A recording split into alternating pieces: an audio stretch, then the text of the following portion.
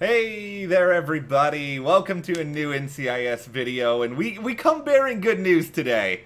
We know the season 18 premiere date is Tuesday, November 17th. Not that much longer, it's like just a little bit more than a month. We've got a date, guys. We've got a date, we've got details. There, There's a lot of stuff to discuss here because they're doing something kind of strange when it comes to this upcoming season. It's not something I personally would have predicted them doing. Yep.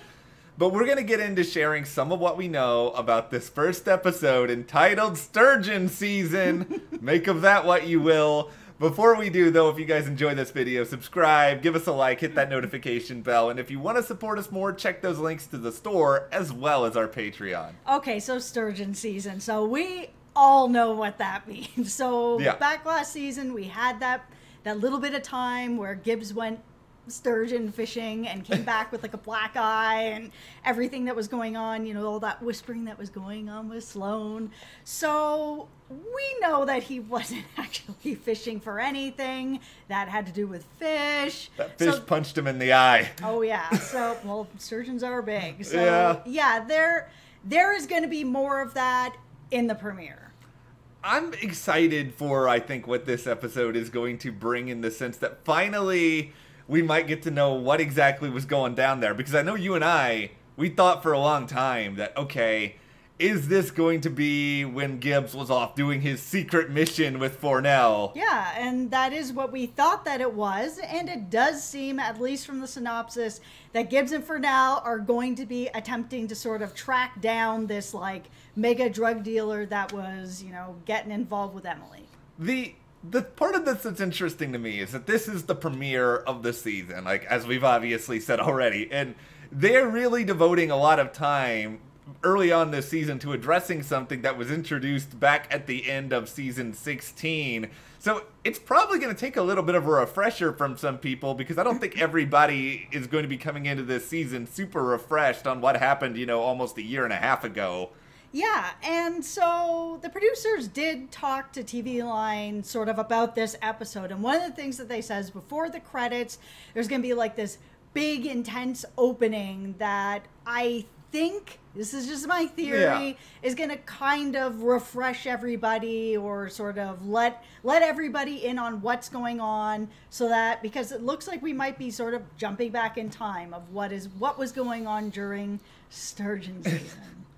I okay, this is the thing with sort of where my brain is getting kind of all twisted up with all of this because why now? Like if all of this happened back last year when Gibbs had his fishing trip, like why are we getting introduced to this now? Why not 3 or 4 episodes down the road? Like there's a lot of things that they could be addressing right now. What was making what was making the writers think, "Okay, this is when we need to go into Gibbs' past at this particular point." Yeah, and I mean, I feel like they were kind of had this in mind at the end of last season, but of course, everything got shut down. We didn't get a full season, so they're just picking back up again. I do think there is a certain degree of truth to that because if we sort of remember, you know, when we spoke with the producers at the end of last season, Yep. One of the things that they mentioned to us was basically that everything was sort of in stasis in terms of the sets that they had, the plans that they had, maybe NCIS, you know, a lot of other shows I think kind of scrapped some of their plans that they had sort of mapped out and they're going with something totally new to account for the real world right now. But maybe NCIS is just being like, you know what? We're just going to give you guys at least most of the stories we had already sort of conjured up, and then maybe we'll get into some other material later. Yeah, because we had a whole season with like no Fornell. It was weird. it was really weird because I expect him now, like, you know, a couple times a season. This was a pretty big storyline. And when that whole sturgeon fishing trip came up, I was like, okay, so this is probably what's going to be happening. We'll pick back up with that maybe at the end of the season. And then, yeah, the end of the season didn't happen. So that's where we're going to be with them. And it sounds like that means that kind of Gibbs is going to be off doing his own thing while the rest of the team is still going to be at the offices doing their thing. And according to the synopsis for this episode, we have some hijinks going on at NCIS where there is a missing cadaver from the autopsy room. Now, you are a licensed funeral director. I am not. I do not have experience with cadavers, so I'm just going to turn this over to you. How in the world does this happen? Really don't know. Unless Jimmy ended up with that new assistant that moved the body. I mean, nobody's breaking into the NCIS lab and stealing bodies. It's maybe possible that the cadaver got mislabeled, maybe, and moved somewhere else because of that, or somebody came in thinking they were picking up someone else and they picked up the wrong person. I think it's probably just gonna be something like that. I don't think this is like gonna get really dark here where someone is breaking in and stealing dead bodies or something. Let me get my fan fiction pen right, out here. here I know what we got. I, this is what's going to happen.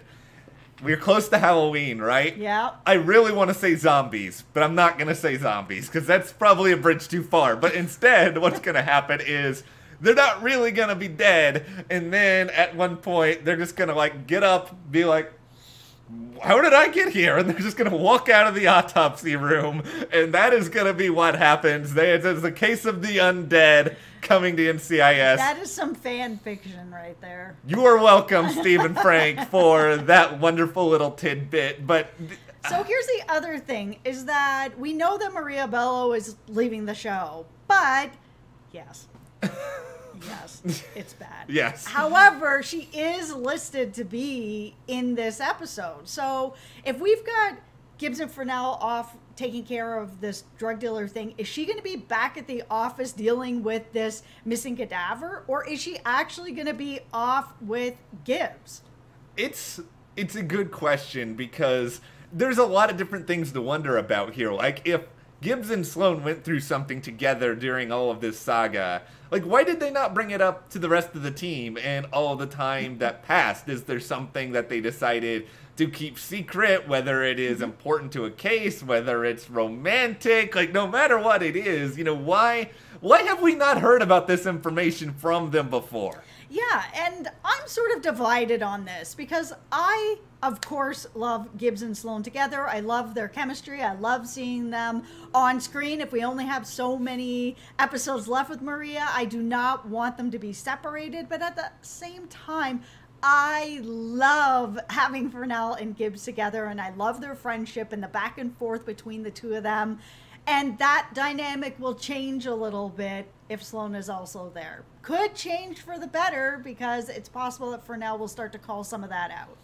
Maybe we'll get the best of both worlds. Maybe we'll get a little bit of Gibbs and Fornell. Maybe Sloane comes in. He has a few scenes with her. Like I, I think they can balance all of this out. My my only major concern with a lot of this is because it's all set in the past. Like there's no severe stakes here, other than Gibbs getting you know a black eye. Like How did that happen? well, right? it's intriguing. It's intriguing. But it's also like, you know, with the team, like obviously nothing so earth-shattering happened with the team that it completely changed their dynamic in any of the episodes that are coming up. This is NCIS, guys. So, I mean, nothing crazy is going to happen with the team while Gibbs is away. They're not going to have something like that. I mean, I'm surprised and happy that they are actually bringing in something that is a story that's a little more serialized because it looks like this arc with Gibbs is going to last for a couple of episodes, and we don't usually get a lot of that. We had a little bit of that with Ziva last season, but we don't get a lot of that. So when that stuff comes in, I get really excited. I'm also just kind of curious how the 400th episode is going to be mm-hmm. kind of folded into this because this episode, the premiere, is 3.99. Yep. If they air them in order, then the 400th episode would obviously be next. Like, is it connected to this somehow? I know we're going back in time again to when Gibbs and Ducky met in that episode. So I, I that's another sort of piece. Like, there's a lot of puzzle pieces right now, and I've got them like thrown all over the board, and they're not all fitting together, and my brain is hurting because of it. Yeah. I just think we're going to have a lot to look forward to, guys. If you like the procedural stuff, there's going to be that happening with the team. If you do like the stuff that's a little shorter arcs, we're going to have that over here with Gibbs. I think there's going to be something for everyone in these first few episodes. I'm just thrilled that we finally have an actual premiere date because it was starting to feel like so many other shows were coming out where it's like, oh, this is premiered. There's so much stuff premiering even this week with like Bachelorette Yeah. tonight and, you know, The Amazing Race tomorrow and This Is Us in like two weeks. So it's just, I was like, where, where is it? But finally, it's here. I'm gonna get on my tinfoil hat for a second here All at the end of all it. this because I, one of the things I've been thinking about is okay, well, why why is the show going back to the past now? This is what I'm sort of thinking Yep. is that there's a lot of dark stuff going on in the world right now. I think we're all very much aware of this. Yep. And you know, NCIS New Orleans, they are tackling the health crisis head on pretty early on in that season. So we know that it is canon to the NCIS world in some way Yep. it's hard to say whether or not NCIS proper is going to take a hard look at it, but I'm guessing that they probably understand that they are valued as an escape for a lot of people, and I'm guessing as well that they were probably like, okay, let's give people a little bit of that, a chance to sort of get away and mm-hmm. reminisce about, you know, it's only a year ago really when Gibbs was doing all this, but it feels like it was like five years ago at this point Right? and I, I think that's what they're thinking. I think they're probably like, let's just give people a chance to just relax and get away from everything. We have a full season, and I'm sure eventually we will get back to that timeline. But that's where I think that decision landed. But I, I, I haven't spoken to Steve or Frank yet. I don't know for sure. yeah. But we'll we'll get your take on all of this because first of all, are you just happy that NCIS is back? Yes. What do you want to see in Sturgeon? Do you actually want to see Gibbs fighting a sturgeon and the fish punches him in the face and gives him the black eye? Yes. Let us know. Okay, you really want to see? Let us know in the comments. And if you do like this video, subscribe, give us a like, support us further. Check those links to the store on our Patreon, and we'll see you here next time.